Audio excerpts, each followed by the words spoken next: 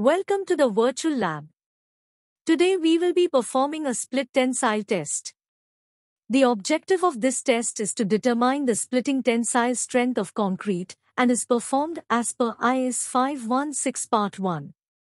We will use cylindrical specimens meeting the requirements of IS 1199, Part 5, for this test.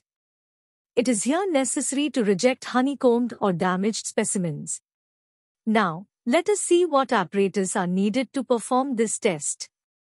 First, we need a compression testing machine, meeting the requirements of IS 14858.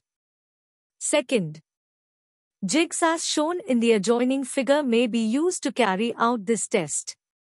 Two packing strips of tempered hardboard having following dimensions of the test specimen shall be used for each specimen and shall be discarded after each such test.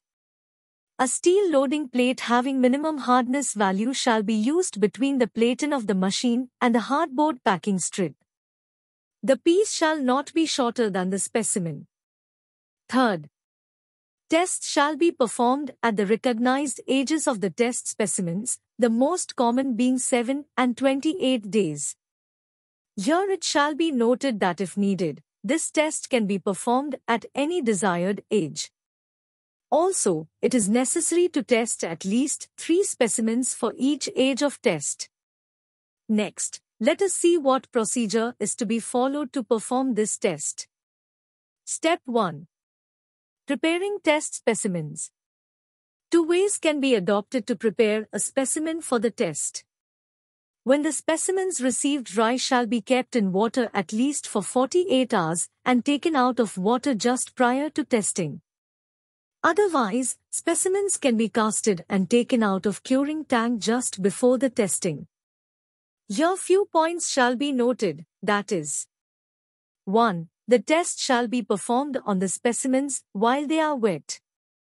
2. Surface water and grit shall be wiped of the specimens, and 3. Any projecting fins should be removed from the surfaces which are to be in contact with the packing strips. Step 2. Marking. Draw two central lines on the two opposite faces of the cylinder as shown ensuring that they are in the same axial plane. These lines give us a reference to check the nature of failure to be reported in the final test report. Step 3. Placing test specimens. Place the test specimen in the centering jig with packing strip, carefully positioning along the top and bottom of the plane of loading of the specimen. Then the jig shall be placed in the machine so that the specimen is located centrally. Also ensure that the upper platen is parallel with the lower platen. Step 4. Loading. The load shall be applied without shock and increased continuously at a nominal rate within the range shown below. This loading rate shall be maintained, once adjusted, until failure. The maximum load applied shall be recorded. The rate of increase of load may be calculated from the given formula. And now let us move on to the calculations. The measured splitting tensile strength Fc of the specimen shall be calculated to the nearest 0.05 Newton per mm square using the following formula. Where P is the maximum load applied to specimen in newtons. L is the length of cylinder in mm, and D is the cross-sectional dimension of cylindrical specimen in mm. Next, we shall see how to examine the tested specimen. The fractured specimen shall be examined, and the appearance of the concrete and type of fracture, if unusual, shall be recorded.